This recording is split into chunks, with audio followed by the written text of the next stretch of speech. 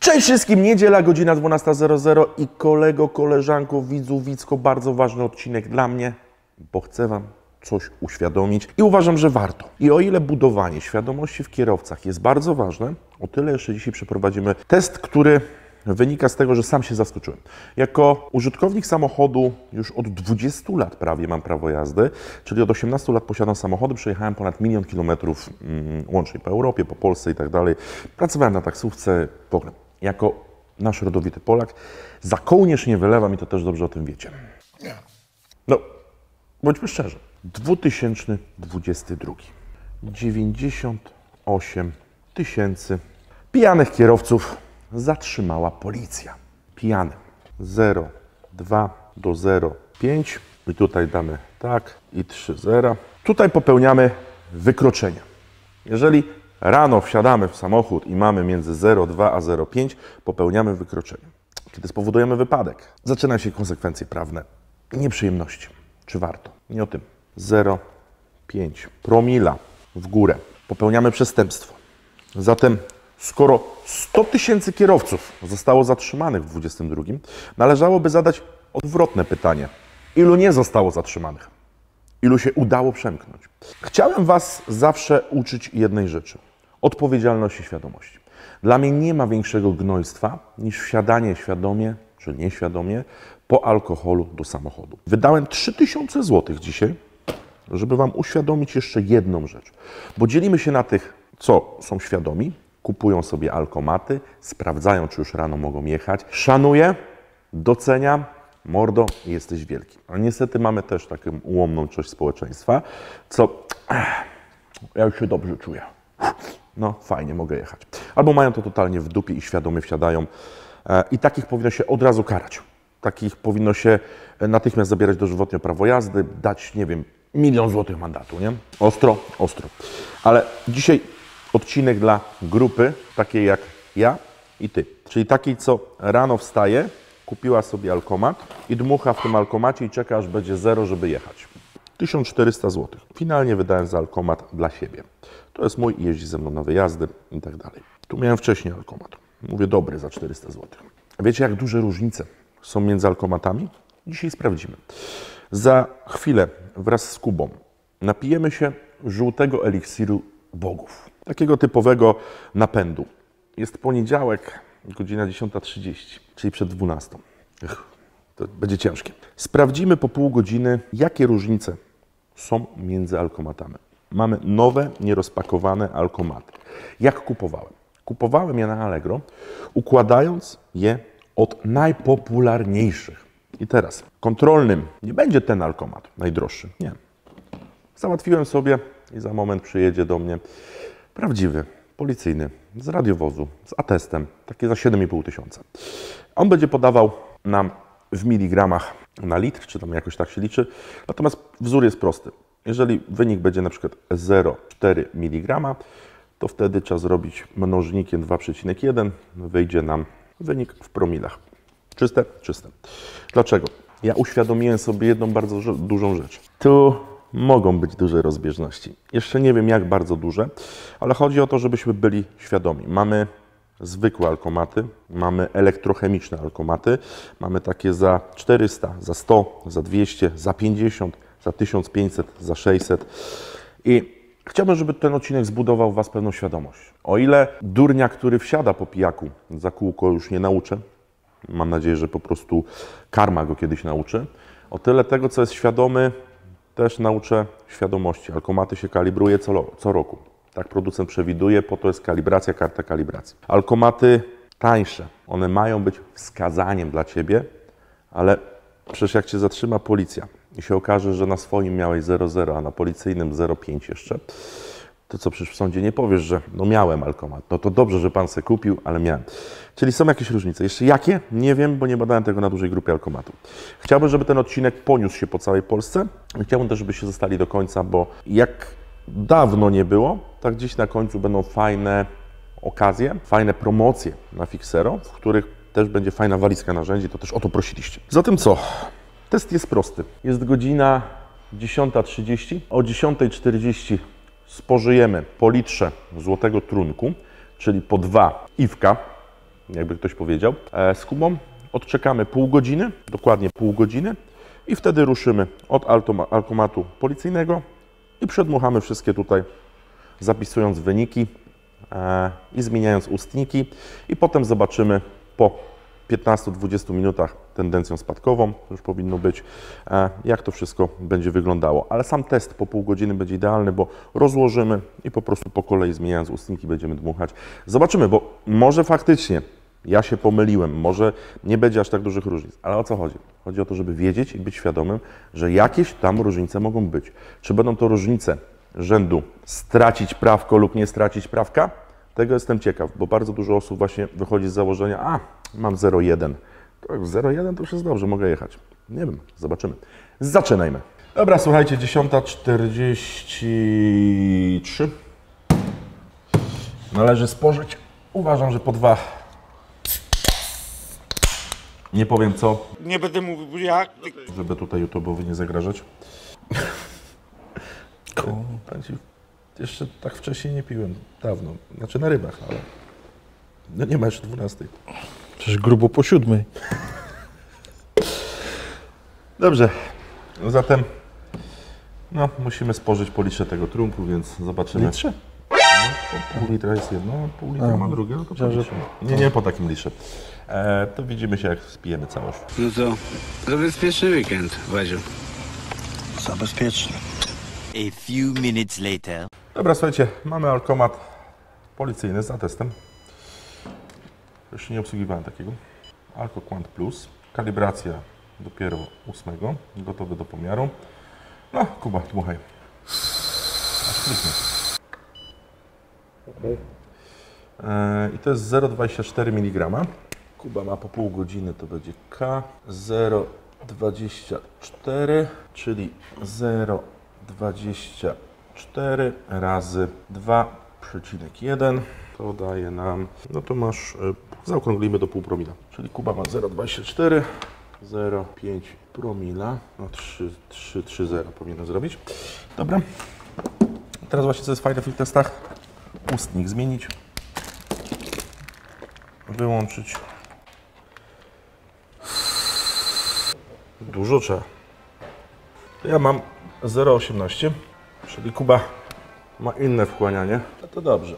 Michu ma 0,18 razy 2,1 0,38. Czyli ty już masz na granicy przestępstwa, ja jeszcze dostanę tylko sąd.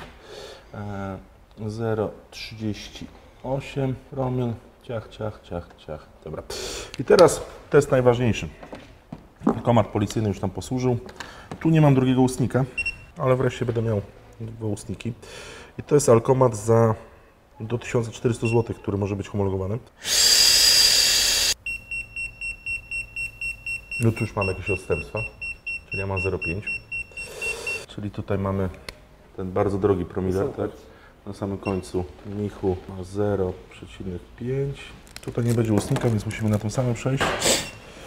To takie, to są organoleptyczne. Bardziej mi pasują te, co są zapakowane, one mają ustniki osobne. Ja od razu przelecę tańszy promiler. Jak będzie gotowy, to dmuchaj, nie?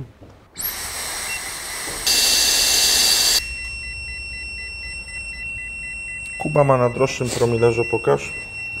0,58, ja na tańszym mam 0,2, więc teraz tańszy od, od zróbmy. Dobra, i tańszy promiler Michu. A to jest dość duży problem, bo wychodzi mi, że mam tylko 0,20. A zaraz zobaczymy, ile Kuba ma. To dalej są tylko, jeszcze nie w zawodach, ale tylko orientacyjnie. Ten używam od 3 miesięcy, ten używałem rok czasu.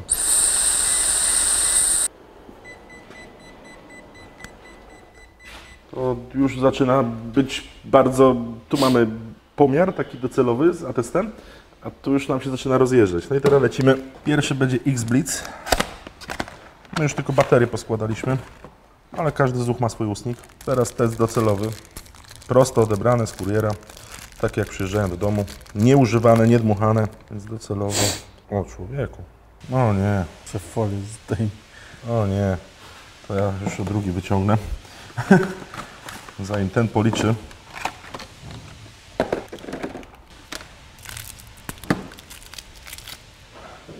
Full cell sensor. O nie, ten o 150 liczy. To musimy chwilę poczekać. Dobrze, że włączyłem dwa na raz. Dobra, nie na tym.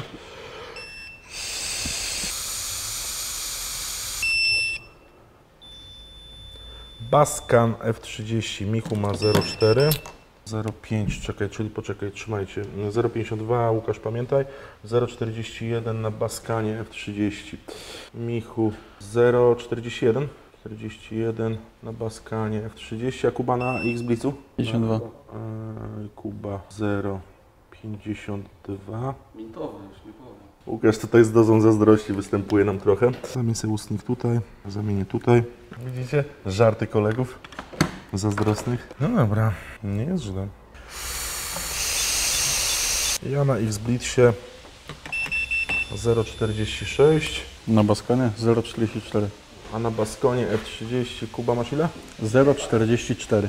0,44. Teraz mamy Pro X5. Pro X5. Pro X5. Szybko od uruchomienia do. Ten długo gra węża.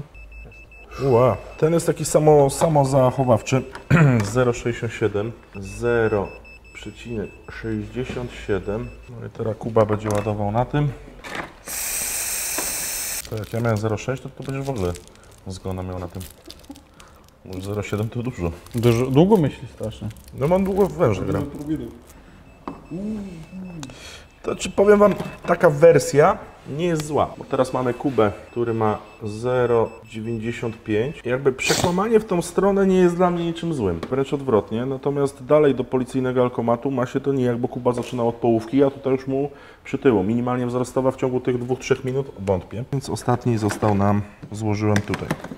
Co, co to jest? A tego jeszcze nie dmuchaliśmy. Wygląda jak ten. Dobra, tego Noga do ucha. Najtańszy. Najtańszy on podaje, słuchajcie, w miligramach i promilach. Dlatego test się odbywa w ciągu 3-4 minut. Nie miałem tyle powietrza.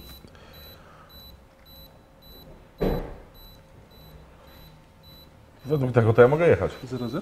0,1. Dmuchaj w ten. Nie no, 0,11. To znaczy, możesz jechać. Uff, No, możesz jechać. Michu Pas trafił. 0,11. Kuba na tym najdroższym ile masz? 0,42. Baskan F50, Kuba ma 0,42. Zamieńmy ustniki. Powiem Wam, to są duże różnice. Nie no, po godzinie jeszcze zobaczymy jak nas chodzi. Ale to już bez policyjnego, jeszcze na koniec zamkniemy raz policyjnym.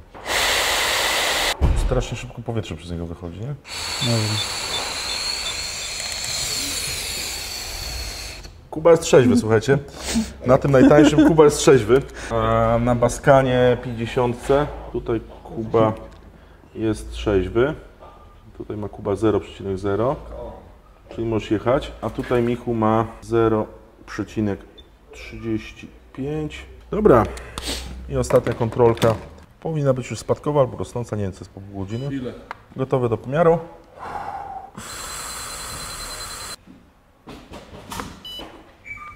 Zero trzynaście, czyli spadkową już jadę, dość mocno. Kuba załóż swoje, Stasiu mu uruchom. Czyli, aha, no to nie jest aż tak mocno spadkowe, dobra. 0,20, no to tyle samo straciliśmy. Straciliśmy praktycznie tyle samo, czyli Kuba ma 0,20, czyli ma jakieś 0,21, czyli ponad 0,4. Ja mam ponad 0,3, koło 0,3, a Kuba ma koło 0,4, czyli test w miarę nam tutaj, mimo utraty czasu, gdzieś tam pokazuje dość spore różnice, dlatego że zobaczcie, tu dmuchaliśmy na końcu i ja nie mogę uwierzyć w ten jeden alkomat, ten najtańszy. Bo ten najtańszy, absolutnie, jeżeli mam mu zawierzać, gdzieś był czysty ustnik do niego tu. Nawet się nie chcą wpiąć te, bo są źle odlane. O. Kiedyś takie też miałem kupione parę lat temu. Najtańszy chyba był. No bo był najtańszy. No. No i masz teraz najtańszy. Powiem Wam, tablica wygląda imponująco. Tu odliczamy. Tu u mnie bez zmian, 0,11. To tylko Kuba strzelił na tym lokomacie. I ten, który używał na co dzień, powinien mieć tą samą spadkową, co e, na policyjnym, czyli z 0,38 powinno zejść do e, 0,3 i Kuba powinien z 0,5 zejść do mm, 0,4. Ale to zaraz zobaczymy. O, mi tak szybko nie schodzi na nim. Ale to dobrze, to jest to, co mówiłem.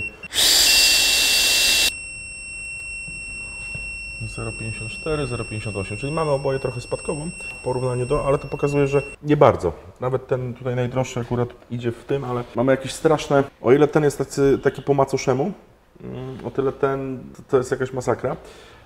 No i ten, którego używałem długo, tylko że też pamiętajmy, że on zaraz powinien być skalibrowany, ale jeszcze, jeszcze nie. Zobaczymy, czy mi spadkową pokaże. Też te wyniki z tych dwóch promilerów trzeba wziąć w nawias, bo nie ma mocników osobnych, nie? Znając życie będzie 0,18. Tak, 0,21. No, czyli bardzo podobnie do pierwszego pomiaru. No, to masz bardzo podobnie do tego, co było. Dobra, słuchajcie, czekamy no, do 12.10, już bez policyjnego.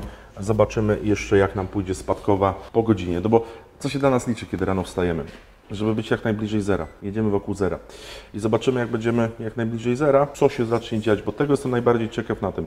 Mieliśmy pomiar, jakby mamy 0,5, 0,38. Tak naprawdę najbliżej był X Blitz, tak, bo tutaj u Kuby miał 0,5, 0,5 e, i u Kuby jeszcze najbliżej co było? No i u Kuby ten najdroższy promiler był najbliżej, a jeżeli chodzi o mnie, czyli 0,38, powiedzmy 0,4, to najbliżej był też X-Blitz. Baskan zaniżył troszeczkę, Pro X5 to jest dobrze, że zawyżył. No i Baskan tutaj był też jak najbliżej 0,41, no i ten mój troszeczkę zawyżył. Dobra, widzimy się za 40 minut. Każdy samochód musi mieć ubezpieczenie. Jeżeli mówimy o ubezpieczeniach, to pamiętaj, że zawsze nawet Ty w tej chwili możesz sobie zaoszczędzić, a mianowicie wystarczy, że wejdziesz w link w opisie tego filmu. Tak, tam jest zwykła porównywarka ubezpieczeń ACOC, która Cię nic nie kosztuje. Sprawdź, wylicz swoją składkę, wprowadź swoje dane, dane swojego samochodu i nagle się okaże, że najtańsze ubezpieczenie kosztuje przykładowo 500 zł, a najdroższe kosztuje 4000. A Ty spojrzysz, że Twoje kosztowało 1000 zł. Co się dzieje? No już samego partyzanta na samo dzień dobry oszczędzasz 500 zł, ale dodatkowo pamiętaj, że właśnie mówimy tutaj o Mubi.pl i na ten rok przeszła znowu promocja z nami i można jeszcze dodatkowo zgarnąć bonus przy zakupie pierwszej polisy na Mubi w wysokości 150 zł. Tak, i to nie jest bonus, który jest nierealny, bo zobaczcie, tutaj macie potwierdzenia, jak Mubi wszystkim zwracało, e, więc takie rzeczy się dzieją. Korzystam ja, korzysta operator i Was też do tego zachęcam oraz jest zawsze ten kod, który tutaj jest, kod promocyjny, wykorzystasz, polecając znajomym, żeby też mogli z tego kodu kupować polisy, to Tobie na konto za każdy taki zakup nabija się 50 zł. Lećmy dalej. Dobra, minęła ponad godzina, stan trzeźwości już coraz bliżej, znaczy już jesteśmy pewnie zdatni do prowadzenia, nie zjedliśmy coś, ale zobaczymy, bo to jest takie być albo nie być, zaryzykuj albo nie zaryzykuj, najdroższy nasz alkomat. O 0,16. Ja już lecę z następnymi, Kuba będzie za mną powtarzał. Ile? 0,26. No to Kuba jeszcze nie pojedzie. Dobra, teraz będzie Promirer ten tańszy. 0,13 to tutaj Kuba mógłby jechać. 0,08 na tym najtańszym, no, znaczy na tym tańszym, nie najtańszym. To jest duża różnica, nie? To już wychodzi na to, że możesz jechać, a tutaj no, teoretycznie też możesz jechać, ale no, nie ryzykowałbym. Więc dobra, tu już mamy po ustnikach, więc i na Pro X5 już zdejmuję swój ustnik. Pro X5 fajnie, ale długo węża gra. O, chcę chyba dużo kropek zdobyć węża. 0,18. Czyli ten alkomat jest taki po macoszemu. Nie, tu zawyża, zawyża, ale to źle o nim nie świadczy, absolutnie. W przypadku promili uważam, że nie. Baskan F30 Kuba tam wydmucha. 0,28. Ja już mam odczyt na tym zrobiony. Na F30 mam 0,15. A teraz Kuba na F30 0,15. To spoko się zaczyna robić. No już lecimy jak najszybciej, żeby tutaj czasu nie marnować. Dla Was to chwila na ekranie, dla nas 3 godziny z życia. Ciężko się pracuje w takich warunkach. Ile? 0,24 na F30. I X Blitz ma długi wydech.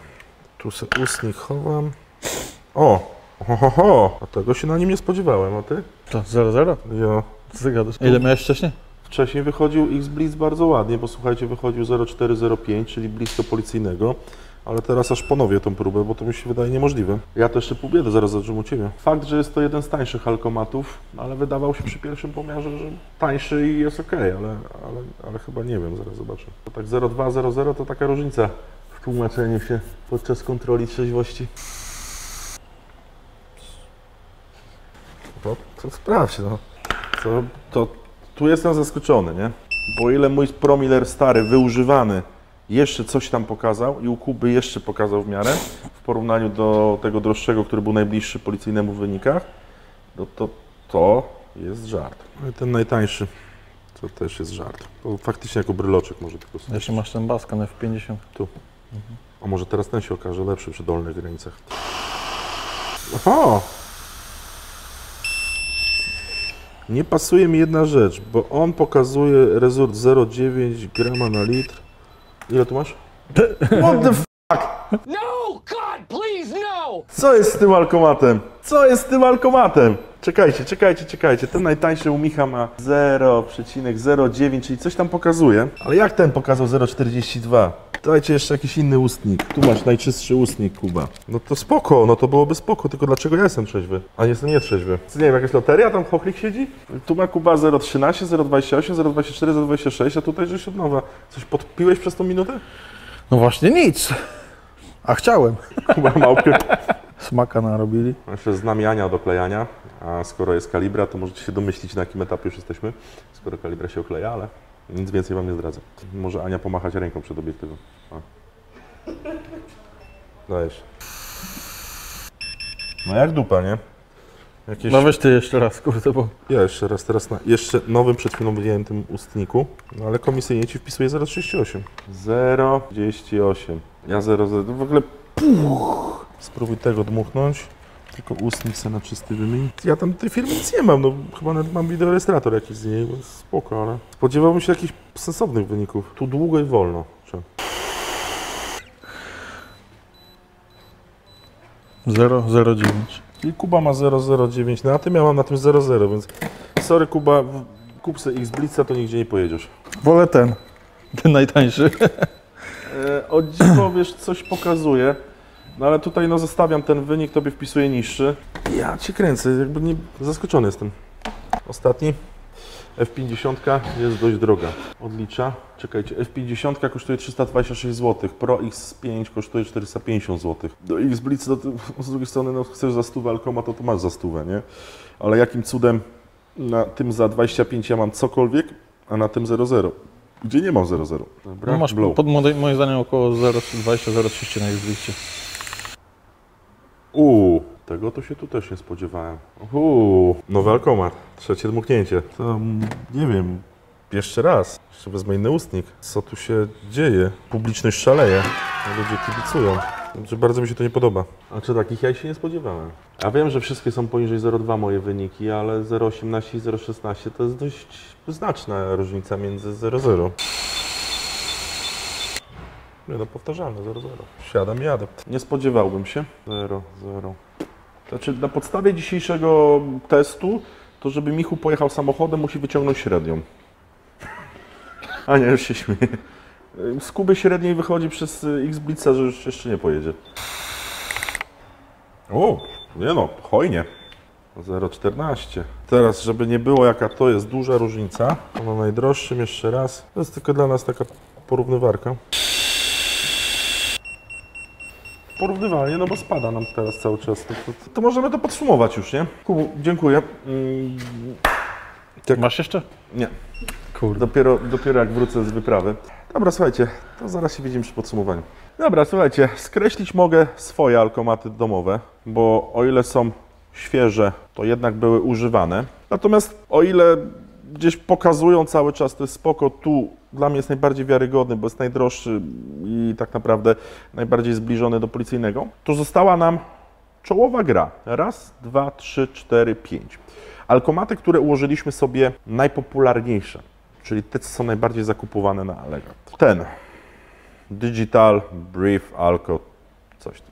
No, czy za 25 zł warto byłoby wydać? Po teście widzimy, że o ile przy dużych promilach nic nie pokazał, i to jest karygodne, o tyle przy małym już zejściu cokolwiek pokazał. Ale absolutnie nie. Czy X-Blitz tu w tej rundzie było super i były bardzo porównywalne, bym powiedział, do policyjnego, nawet po macoszemu trochę zawyżył, więc było super. Ale w chwili, kiedy jest to dość ważne dla mnie, kiedy mam jeszcze 0,18, 0,15, 0,16, czyli mam jakieś 0,17, to na nim pokazuje 0. Natomiast u Kuby, który ma gdzieś 0,2 zawyża. Jak mam rozumieć ten wynik?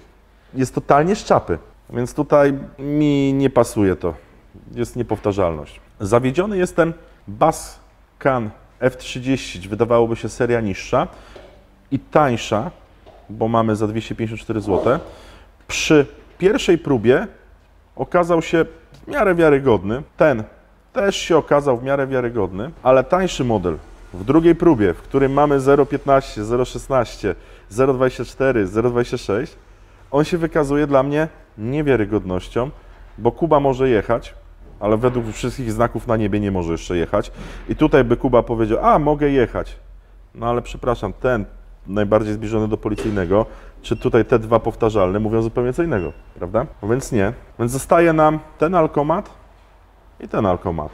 I o ile ten jest jeden z najdroższych, poza moim i moim, to co mu trzeba powiedzieć? Wynik górny jest cholernie po macoszemu zawyżony, bo praktycznie jest zawyżony o 0,4. Czy to jest źle? No niekoniecznie, bo wolałbym myśleć, że mam 0,9 i potem mi schodzi, bo wynik dolny jest bardzo zbliżony do wyników spadkowych. Czyli ten alkomat jest w tym teście spoko i bardzo fajny gracz nam się tutaj wyświetlił. F30, czyli tańsza dużo od F50, ale o ile w górnym trochę miał niżej niż powinien, to tyle w dolnym zachował swój parametr bardzo zbliżony do tych, do tych trzech. Tu w ogóle mamy te trzy parametry. O, są super. To, to, to jest z czapy, to jest z czapy, to weź pan zapomnij. Czyli zostają nam z tych najbardziej popularnych dwa. Natomiast musimy pamiętać jedną rzecz. I to wam chciałem powiedzieć. Zobaczcie, jak bardzo byliście świadomi, badaliście się na alkomatach, ile razy mogło Wam pokazać 001, a w rzeczywistości była to liczba typu 0304. Rozumiecie? I jak głupio by było, myśląc, że jedziecie mając 00, a w rzeczywistości kontrola by wykazała co innego. Lipa stracić prawko, nie? Nie daj Boże stłuczka.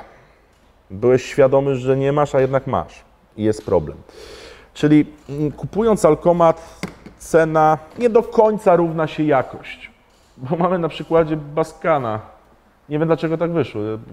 Nie wiem, może przypadek, że droższy wychodzi gorzej niż tańszy. Mamy Pro X5, który jest nawet spoko, no ale mamy tutaj poniżej 100 zł i to są wyniki loteryjne. Ja rozumiem, że jeszcze na różne rodzaje się alkomaty dzieli, alkochemiczne, takie sensory, takie sensory i tak dalej. Natomiast wa- ważne pamiętać jest jedno.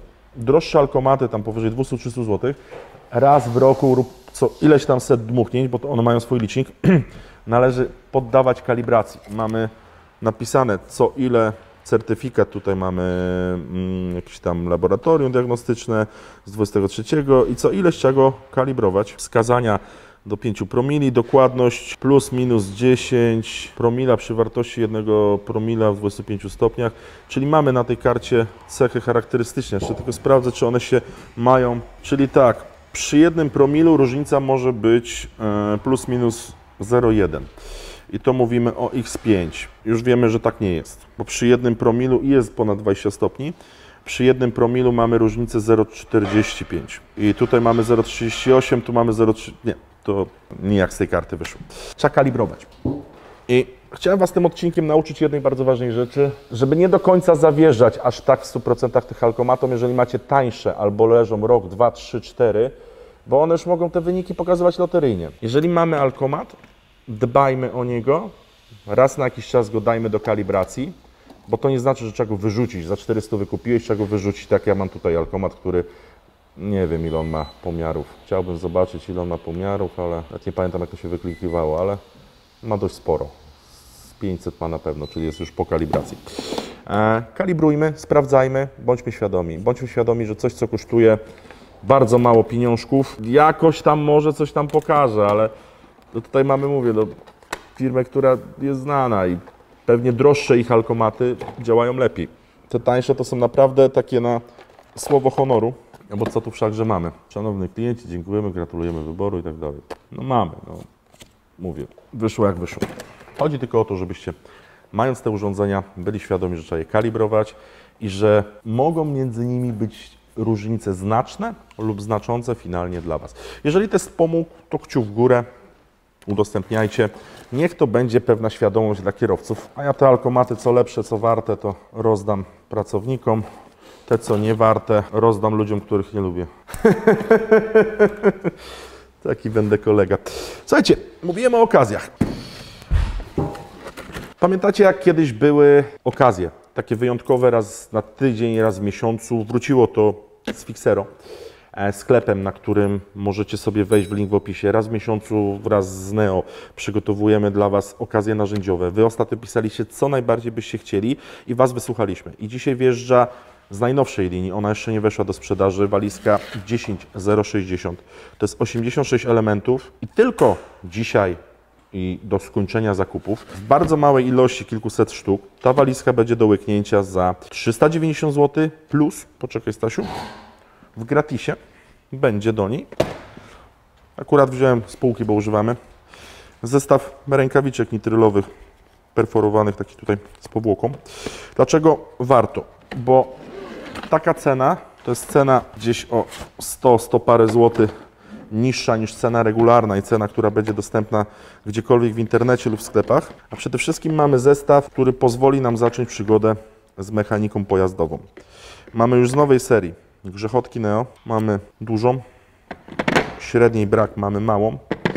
Do tego mamy chociażby combo w postaci przedłużek, mamy klucze specjalne, tu mamy specjalny klucz 21 do wyciągania świec ze specjalną gumką i taki sam mamy rozmiar 16.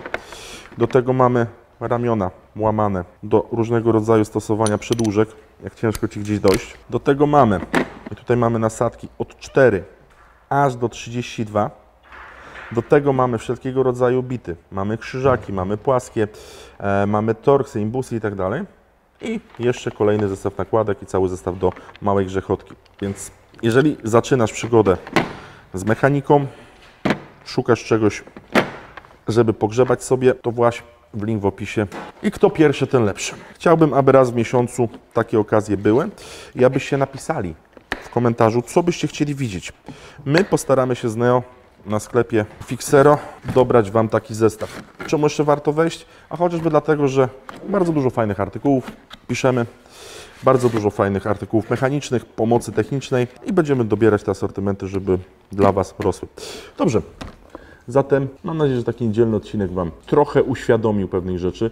Tym, co byli niechętni do alkomatów, zachęcam jednak jakkolwiek, nie wiem, nawet jeżeli nie firmy, które tutaj się pokazały, to wiesz co, to już nawet zacznij od tego, no nie no, nie powiem tego najtańszego, bo on pokazał zero u Kuby, który miał pół promila. Więc to taka przygoda dla optymistów byłaby, bym powiedział, o, pa, dwa piwa walnąłem, nic mi nie jest, nie? No ale taki X-Blitz, no nie no, też nie. Ale dobra, no, no już lepiej, no jakkolwiek, no, no dobra, nie. Ale kupić, no sto parę złotych wydać, no jakkolwiek. To po prostu nasza opinia była i nasz test i przeprowadziliśmy go w takich warunkach, jakie umieliśmy, najbardziej rzetelny. Dwóch chłopa, jeden 106, drugi ponad 120 kg, sensie on cięższy ode mnie, no ale wolniej trawi, musiałem podkreślić. Linki do Mubi i do wszystkiego innego macie też w opisie filmu. Trzymajcie się, ja idę zobaczyć jak tu Ania klei, o Jezus, ale to będzie folia, ale kolor kalibry będzie, takiej drugiej nie ma kalibry, no ładna. Nie no, musisz powiedzieć Ania, że ładna ta folia. Mi się kolor bardzo. Mi też i może dobrze się sklei z kalibrą. Jest odważna, bym powiedział. Tak, to było moje pierwsze słowo. Odważna. Trudno, zawsze ktoś sobie może to potem przekleić. Ale dobra, no nieważne. Trzymajcie się, do zobaczenia w następnym odcinku. Cześć! Zrobię porządek.